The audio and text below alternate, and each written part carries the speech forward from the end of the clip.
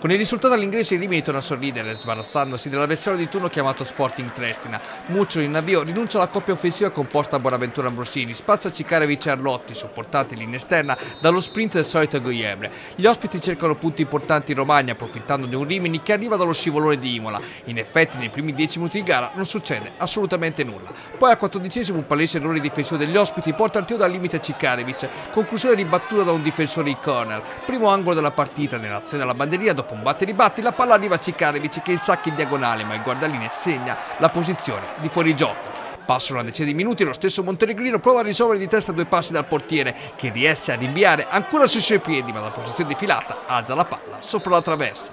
L'occasione più limpida per i biancorossi con gli ospiti ancora assenti in fatto di pericolosità avviene attorno alla mezz'ora quando Arlotti su cross di cola trova un diagonale velenoso che centra il palo.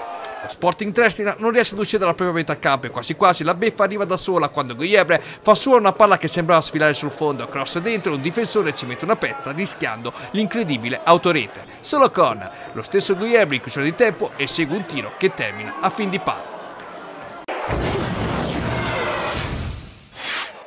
Nella ripresa il Rimini prova da subito a sbloccare la gara, Righini terzo e segue un bolide da fuoriare che però si alza tanto sopra la traversa di Garbinesi. Un minuto dopo si fa vedere lo sport in Trestina con un cross dalla tre quarti sinistra per la testa di Villanova che non arriva per un soffio.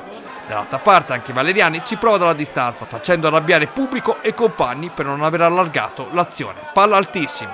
Al settimo il Rimini sblocca la situazione, Arlotti servito da Cicarevic trova all'esterno destro vincente che manda in delirio il pubblico amico recando un sorriso anche alla panchina biancorossa. La troppa esultanza con conseguente abbandono della maglietta vale una munizione, ma per il ragazzo del Pogni Express questo è altro. Il Rimini insiste, ottimo lavoro di Guiebe che sulla fascia salta due uomini, arriva sul fondo e crossa bucando le mani del portiere, ma sul secondo palo Viti non ci arriva e la palla sfila in fallo laterale. Lo sport in Trestina si fa vedere con una semi-rovesciata di Ridolfi su assist di Villanova che sfiora la traversa dalla porta, difesa da Scotti. Al quarantesimo gli ospiti vanno vicino al bersaglio sferrando in gol del pari con il tiro potente in diagonale di Marconi che termina di un nulla alla destra di Scotti. Ma al gol sbagliato, di conseguenza, corrisponde la cosiddetta regola del calcio. Gol incassato, 44esimo, Rimini che perviene al raddoppio, Guiebe di esterno sinistro piega le mani al portiere sul suo palo e fissa il punteggio sul 2-0. Gioia anche per l'esterno biancorosso tra i migliori di questo match. All'ultimo respiro Petti rischia l'incredibile autorete su un cross dalla sinistra e regala il primo angolo della partita allo Sporting Trestina.